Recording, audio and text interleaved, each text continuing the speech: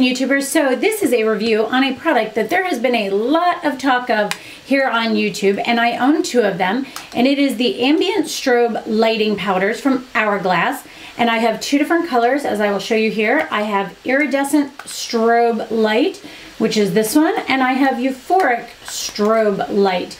Now, Iridescent is a little bit more pink, and Euphoric is a little bit more peach colored.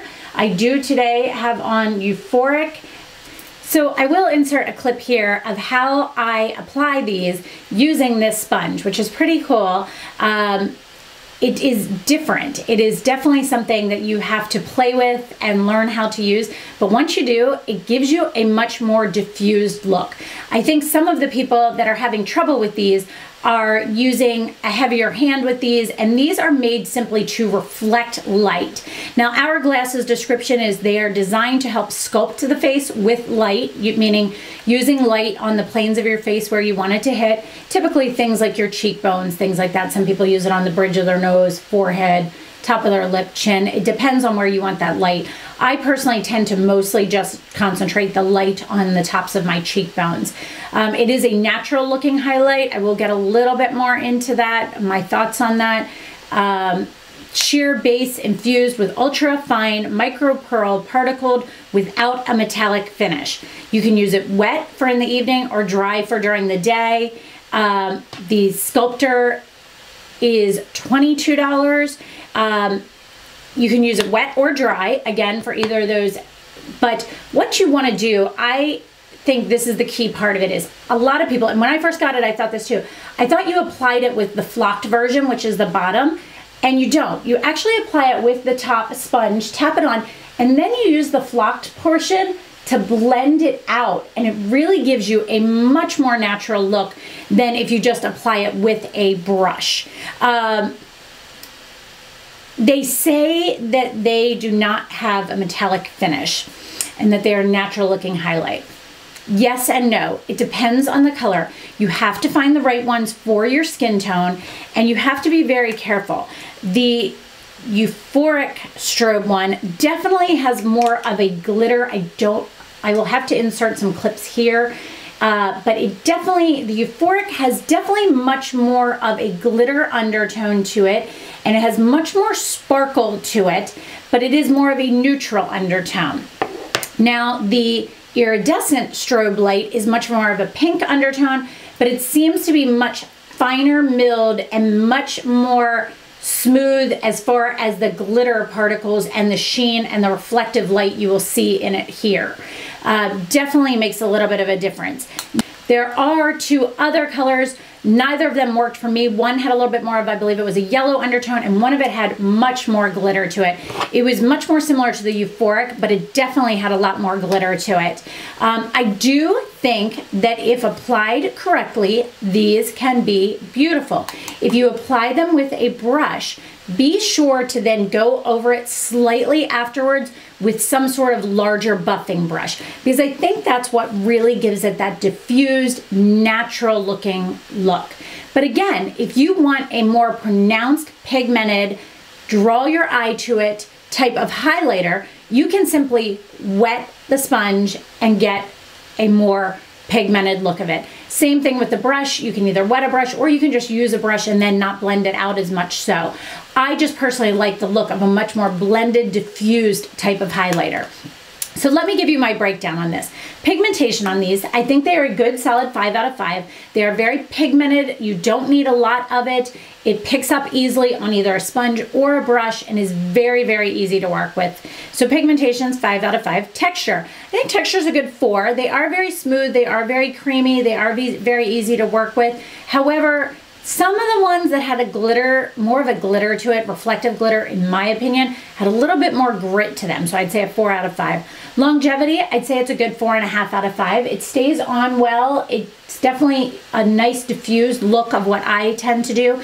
And it looks like this by the end of the day too. It doesn't travel. It doesn't make me look oily.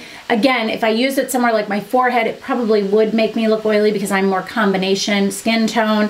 Um, but longevity is really great on it. Application, I would say application's a four because with a brush, you have to be careful and make sure you really diffuse it out afterwards. If you are using the sculptor sponge, it actually is the easiest way to do it. Again, not required, but it is a little bit easier. So applications of four, it takes a little bit to figure out the right way to work for you, but once you do, it's really nice.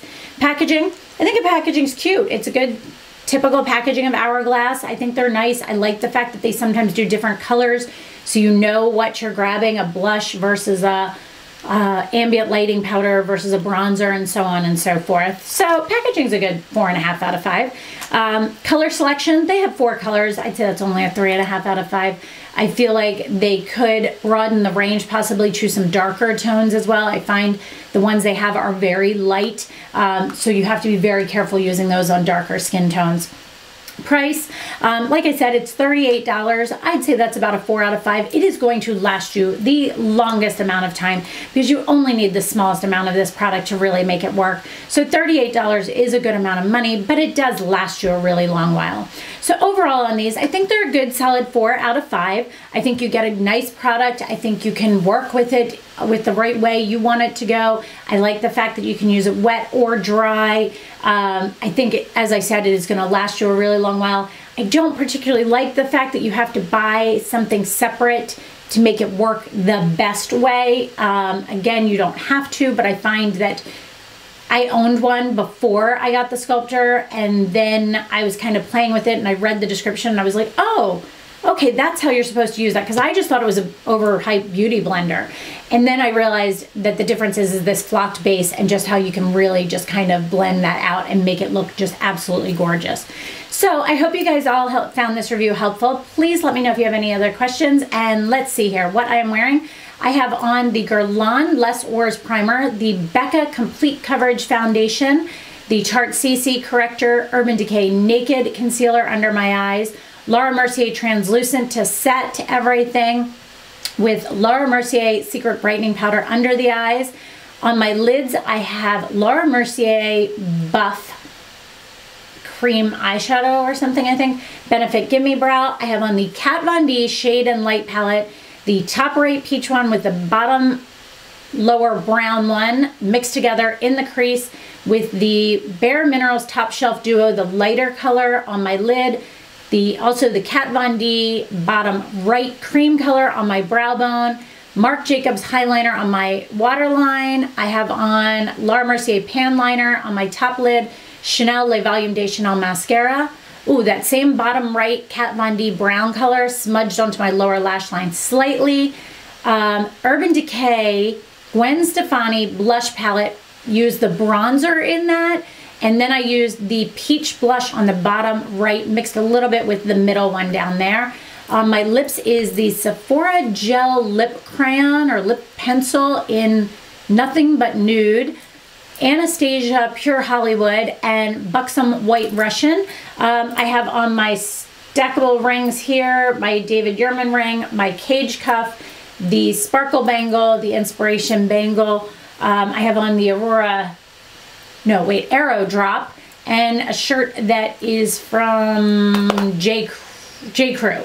So that is every, oh, hair was curled with a Babyliss Pro one and a half inch. And that is everything. I hope you guys enjoyed this. Please let me know if you have any other questions. And thanks so much for watching, guys. Have a great day. Bye.